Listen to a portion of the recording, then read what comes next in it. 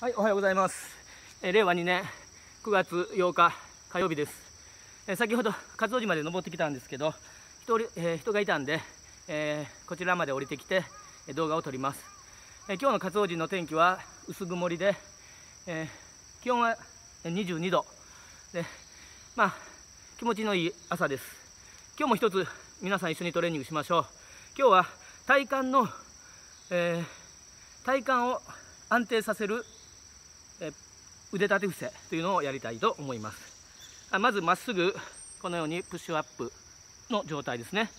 横の面で見るとお尻がこう下げ下がったり上がってえ上がらないようにまっすぐ。でお尻の筋肉をクッと引き締めます。そしてお腹に力を入れます。はいこれがスタートポジションです。でこの状態からプッシュして狭くグッとここで体幹えー胸の胸筋とかをき締めます。ここで固定しますね。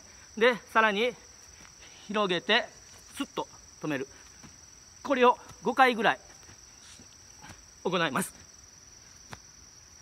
はい次に逆のバージョン、えーこの狭い、えー状態から腕立てしてここで固める。でグッとここで固める。でここで固める。はい。非常に、えー手のポジションを変えるだけで胸とか背中の筋肉そして二の腕に非常に効きます。はい。皆さんもぜひチャレンジしてみてください。以上です。